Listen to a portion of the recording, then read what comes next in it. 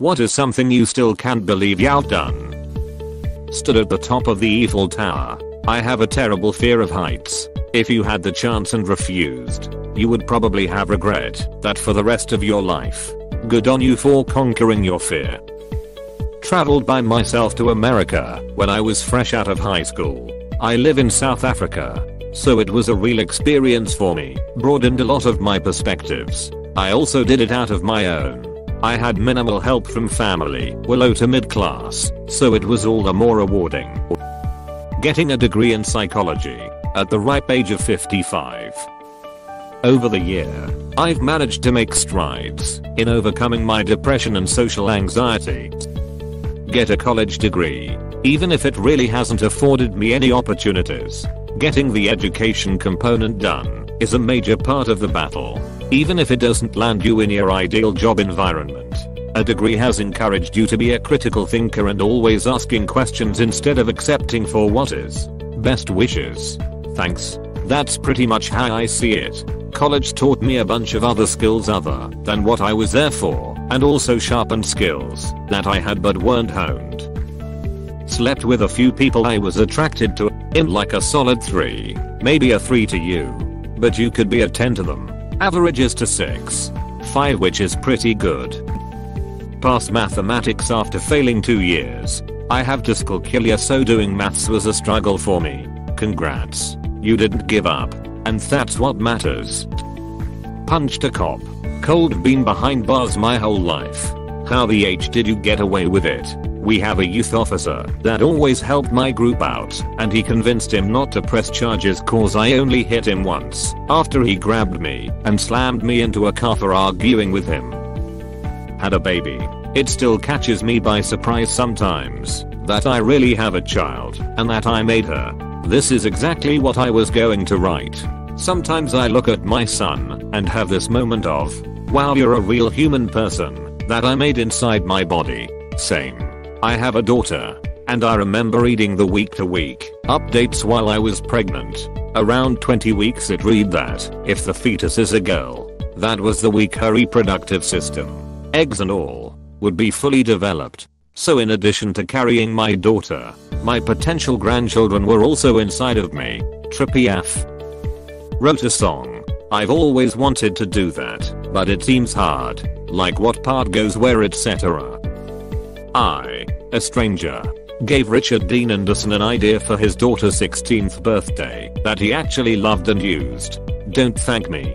Thank the moon's gravitational pull. Apostrophe. Survived an active combat zone. Three times. Fortnight. Got lost in East Berlin close to midnight. That would not have gone well to overstay a day visa. Went to prison. Had my butthole looked at. 10 tenths won't do it again. My ex-wife. The entire relationship. I mean, I feel that way about a few relationships. Sustained a compound fracture in open water to my right leg. Got myself to shore to seek medical attention. How did you break your leg in open water? I think the real question is, what did you jump off of while drunk trying to impress your friends? A collection of related things.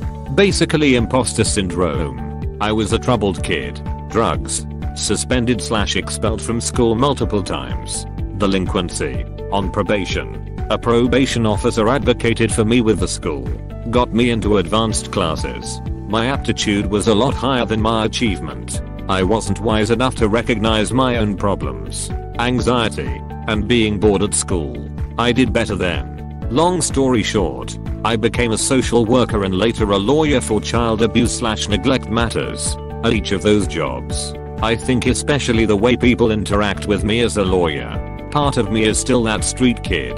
That kid that guidance counselors told I shouldn't waste your time trying to go to college. They won't put up with your behavior there. Apostrophe. 12 years later, I'm in charge of the main federally funding for courts and attorneys in that area. It still feels like a dream sometimes. Like, I really notice every time people introduce me that way on a national conference call or whatever. I'm totally proud of myself. But I'm not writing this to be bragging. Seriously. I put on a suit and tie and still feel like they are gonna say, What are you doing in here you scruffy skateboarder? Apostrophe. Actually went swimming with sharks. In a cage off the side of the boat. Saw the beast appear out of the dark below and swim by. Checking us out with its large black eye. Both of us. Just curious. Got freaked out by my own snorkel BC I forgot it was there. Lol. Where? This is one of my top bucket list things, but I have no idea how to go about it. Seal Island. Off the coast of Cape Town in South Africa. There's a couple little companies with boats that'll take you out. Set me back about 150 US dollars if I recall. At age 39 I started my first gay relationship. At age 40, we are still together, and I'm in the best relationship of my life. Back in 2008, somehow I went from couch bum to political consultant for 4 years. Okay how? At the college church group. Signed this petition. Why? Apostrophe. Cause I'll make money. Okay. Found out how much he made and how crazy the turnover is at that job. Started doing that, and then I started psing my way into convincing people I knew what I was talking about. Survived a lot of things that I hope nobody else ever has to go through. Said yes when my best friend asked to date in secret. We are secretly girlfriends now because our parents are homophobic. Overcame drug addiction. The amount of times I should have been dead or imprisoned is crazy. And now I'm just thankful to be here. Trying to type this out on my phone with a little kid yelling Hulk smash in my face. Didn't think I would get the chance to be grateful for something that would otherwise seem trivial. Moved from Canada to the EU to meet with a guy I meet online and only met one Cyril. We have now been together for almost 20 years. Happily married too. This was when online relationships were unheard of or had PR telling me I would get kill. Edition. I'm not so sure I would have it in me to do that now. Bow, however. Uh, so yeah very glad I did this. It's did surgery on a grape. Were the results appealing? Raising the bar with that bun.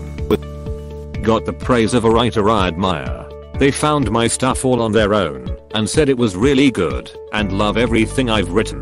It's been years now and I'm still riding that high. Sneak out with my best friend at age 13 out from a window onto a slanted slippery roof just so we could got to the park dance and look at stars. Made it this far. Wrote a children's book. Got an internet predator sent to prison. Backflipped. You won't believe what happened next. I broke my nose. Given my background of neglect slash trauma, staying alive and sober. Cruise the Galapagos. Saw an active volcano. Penguins on the equator. Swam with sharks. Had blue-footed boobies walk up to me. Sat with giant tortoises. Just an unreal experience all around. Found the love of my life. Got pulled on stage and played guitar in front of at least 10k people with the band I listened to for over 6 years at that time and they were the starting point of the development of my music taste. Went to 80 countries. When I was around 20, I lived near Harvard, but wasn't a student there. Saw a sign one day that students could learn to use a telescope on top of the science building. I had to climb 10 to 12 flights of stairs to get there because the elevator had a security guard checking it. Spent over an hour looking through the telescope with a bunch of Harvard students. Jumped off a 60 foot cliff into a lake. Never again. Made over 130k in one year. 95k of it being what was technically my side gig. Yes all legally. Climbed Mount Fuji. It actually didn't seem that daunting when I was standing at the fifth station looking up at it. Felt a bit more daunting near the top, but I got up there. The descent was one of the worst ducking things I've ever done in my life. I've never been able to look at Fuji since without feeling mystified at how the hell I actually managed to get up there. Stayed out of jail, fell in love with a coworker. I fell in love with a coworker. We've been married for 18 years now. Are you still coworkers? Faked my college graduation.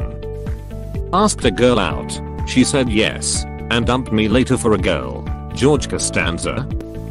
Became a tattoo artist. It's wild. I never got to get a job again. Always wanted to be a rapper. Always dreamed of financial freedom. And now that I'm so much closer to it, It's just unbelievable. Was I the military for 4 years. Was a part of, and witnessed some crazy stuff. Some of it classified.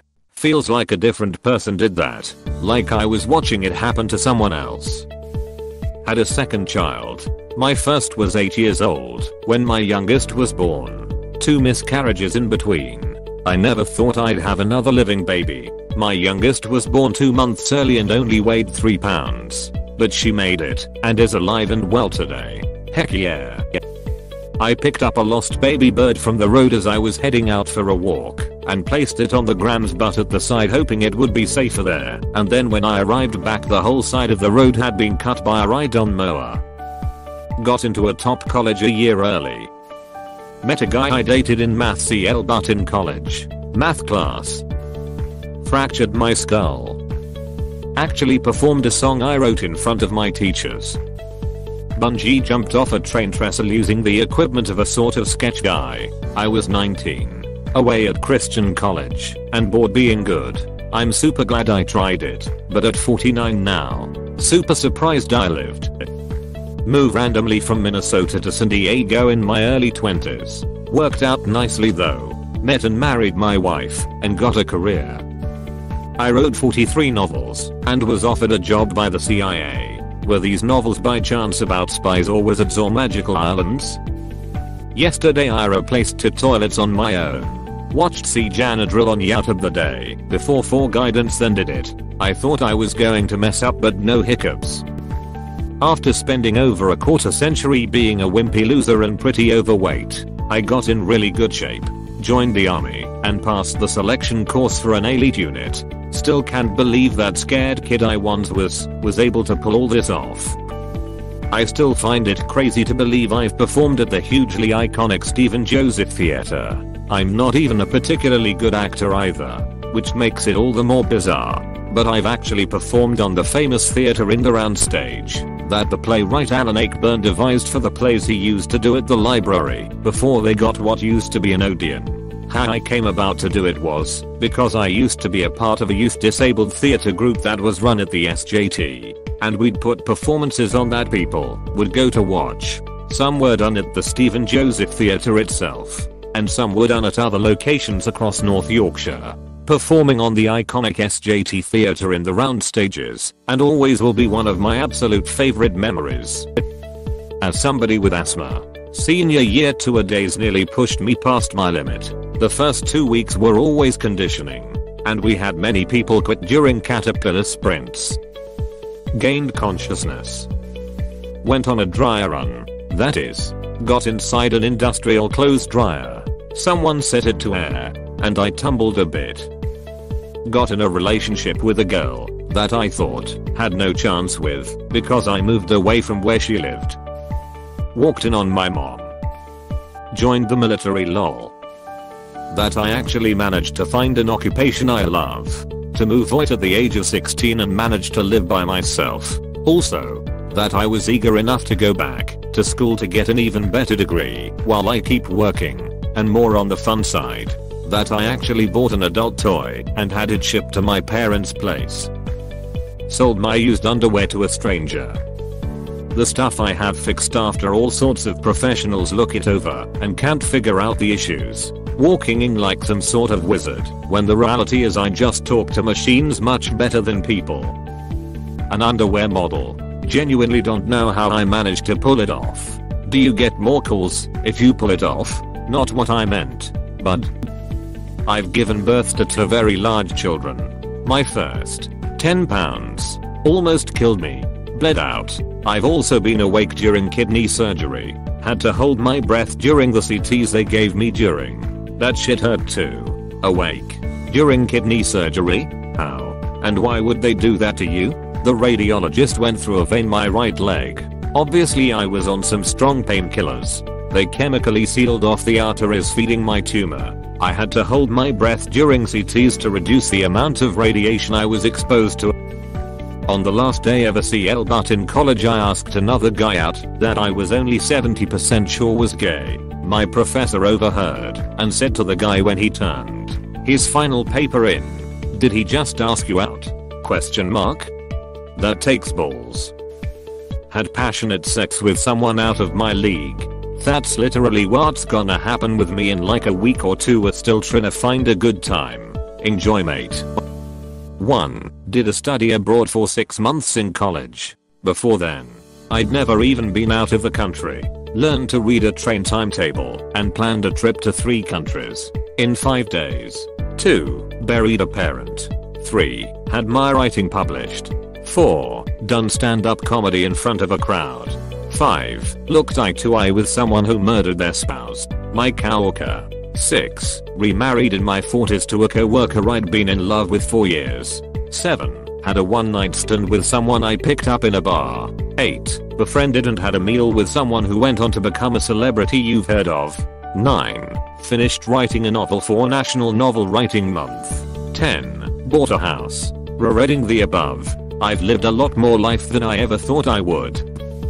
I'm a science guy, and I shot down a shitload of very high paid lawyers with facts and hubris. It was me versus 12. They brought a load to intimidate me. I knew that. I had no backing. Thank you. Boss. I can still see the table. The science was behind me. These guys wanted to bargain. And I wasn't buying. I won. Total job cost was over 20 million. I fucked an Australian girl with cocoa butter in Tokyo during a deployment. Bungee jump, skydived, both while afraid of heights. Recuperate pretty well from a B. Traumatic brain injury, from which I wasn't supposed to survive. I stopped a robbery at a McDonald's once and arrested the guy. The whole story is, when I was at home for some reason I had this strong feeling there was going to be a robbery at a McDonald's. I went there and waited for a while until I heard the cashier scream and I saw a man walking away with a stack of 20s in his hand. I got up and kicked him in the chest. Then I grabbed him while he tried to get out. We struggled outside and eventually I jumped on his back and took him down. I then held him there for a while until a police officer came. Fucked Amber Heard. Thank you for watching. We hope you enjoyed this video. Please subscribe for more videos.